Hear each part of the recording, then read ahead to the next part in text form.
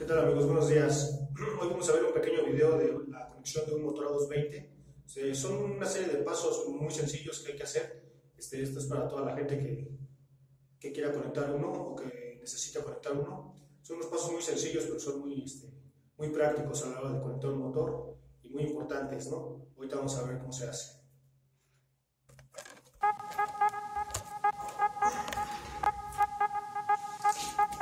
Muy bien,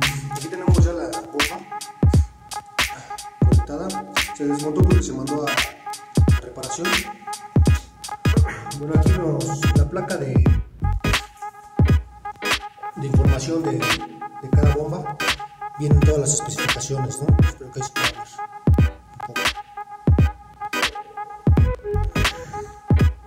Al voltaje que se puede conectar, la frecuencia que son 60 Hz, este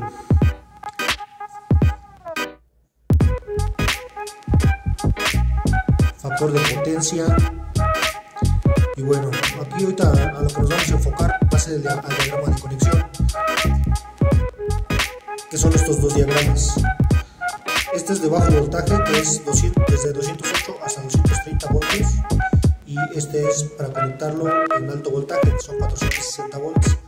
Ajá, cambia un poco la, el diagrama de conexión. Vamos a conectarlo ahorita en esta ocasión a bajo voltaje, que es 220. Vamos a utilizar este cuadro aquí. Aquí nos dice que T4, T5 y T6 van unidos. ¿no? La línea. Entonces nos verificamos acá los cables. Yo ya los tengo previamente. Recordemos que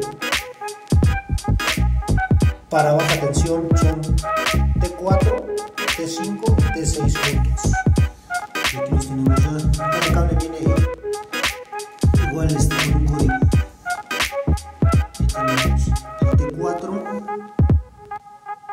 el T5 y el T6 ahí se alcanza a ver. Ajá, yo ya los tengo unidos con un conector rápido. De esta forma.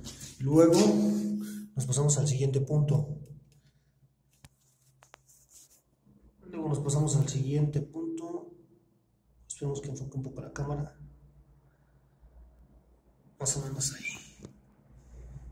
Y aquí nos dice que T1 y T7 van con la línea 1. Aquí están abajo las líneas. Línea 1, línea 2 y línea 3.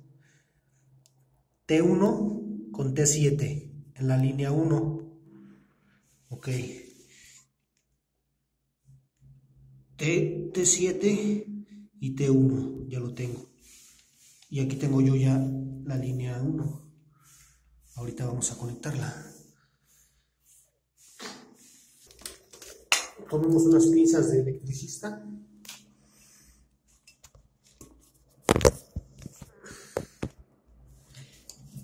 Y esto es más o menos de la siguiente forma. Ya tenemos aquí la línea 1.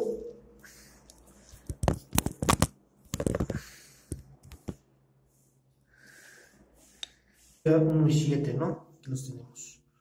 1 y 7 con la línea 1. De esta forma. Un poquito menos de la pulgada. La conexión.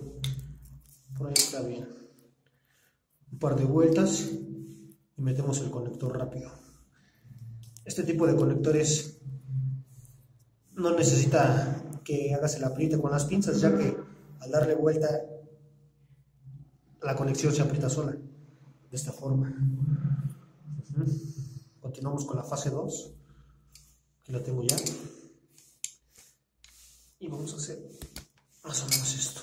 Pelamos aquí y después nos venimos aquí para verificar el diagrama de conexión nos dice que si se pueden fijar nos dice que T8 y T2 van con la línea 2 que es esta que está aquí abajo ¿sale? quedamos. 8 y 2 entonces buscamos aquí unos pares de cables. 8 y 2 los conectamos a la línea 2 de la siguiente forma. Cortando el excedente. Poniendo su conector de conexión encima después tomamos la línea 3 aquí la tenemos vamos a hacer un corte igual de una pulgada o un poco menos Y por lógica, pues estas, estos dos es el 1, T, T9, T3 y T9. ¿Ok? Igual los juntamos, cortamos y le ponemos un conector. Ahí así. Muy bien. De esta forma. Ya únicamente nos queda poner la tierra física que va al chasis del motor, puede ir en cualquier lado, pero estos motores tienen aquí una un borne especial para la tierra física que es este que está aquí. Entonces, únicamente lo metemos aquí, le damos vuelta a esto.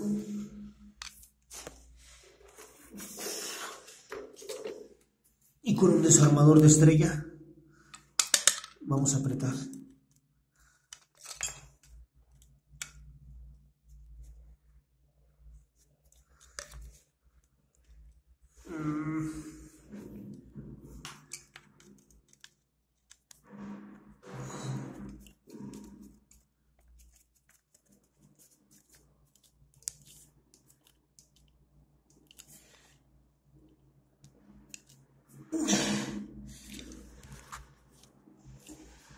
Si en caso dado que llegues a conectar las bombas trifásicas eh, mal, lo único que, bueno, mal en el aspecto de que te equivocaras de una línea, porque por ejemplo estos tienen que tener así como viene, ¿no? Estamos. Fase 1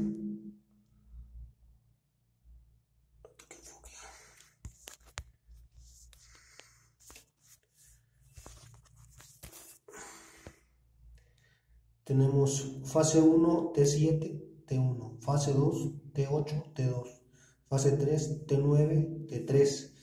Si te llegas a equivocar de línea, que digamos que hayas puesto la línea 2 en la 1, o a lo mejor tú las pusiste bien, pero desde el poste vienen mal, tu motor va a girar al revés. Únicamente lo que hay que hacer es intercambiar las líneas para que el giro del motor se quede de la manera correcta, ¿no? Muy bien, vamos a hacer ahorita una prueba, ya que las tenemos conectadas. Vamos a ponerle pausa y vamos a hacer una prueba, ¿no? Voy a ponerle pausa para subir a donde tenemos el equipo de control.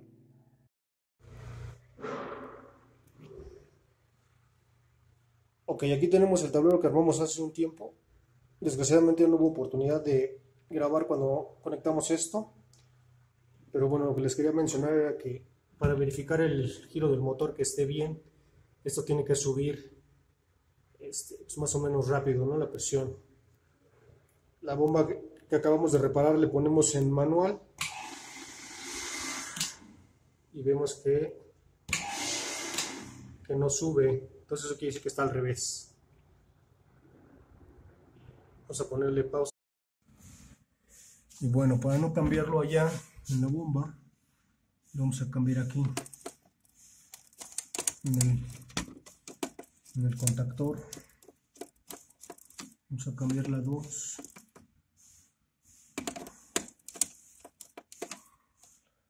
apagar esto. Vamos a cambiar la 2 por la 3 y vamos a ver qué pasa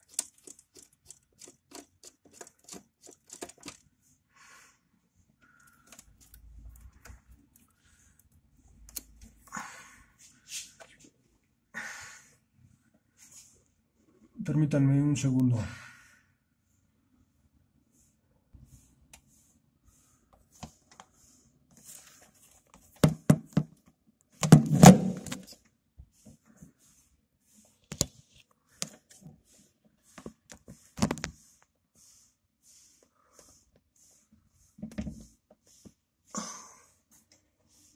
Sí, como les mencionaba, ya no pudimos este, nosotros hacer este jale, lo así más o menos. Trenzamos esto. Y ahora sí. Si estaban así, ahora las vamos a poner así.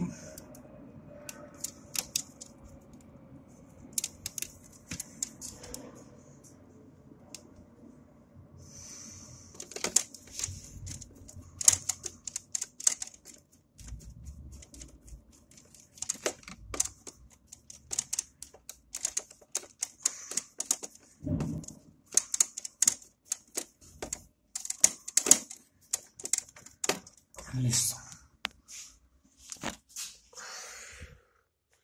Ahora vamos a ver.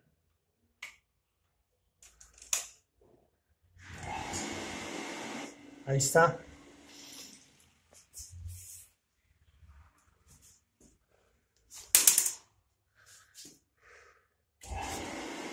Listo, ahí vemos cómo sube de manera más o menos rápida.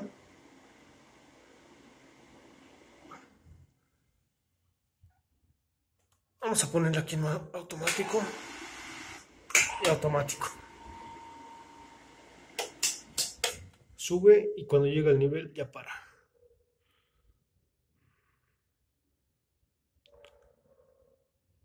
Listo.